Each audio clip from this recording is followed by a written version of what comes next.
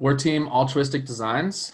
Uh, we're TC6 ME18 for the Mechanical Engineering Department. Our team members are Joshua Frey, Brett Ahlers, Nitanshu Parashar, and myself, James Godbey. Our intention this semester was to develop and design an action sports winch with applications in snowboarding, wakeboarding, downhill mountain biking, really anything that you can throw at it in in a sense where you needed to move something, you need to tow something. Um, we want to develop a portable, high-speed winch capable of towing the, the user in two directions. And we want to replace or supplement other methods that are currently being used to meet the solution. This is our current design for our winch at the moment. We plan on implementing more features in the future and work towards a more cohesive, more aesthetically pleasing design. Um, this is where we're at. We would love to go forward with it and work towards a patent. Um, I hope you got something out of us today. Thanks for listening. Uh, I really appreciate it. Have a good day.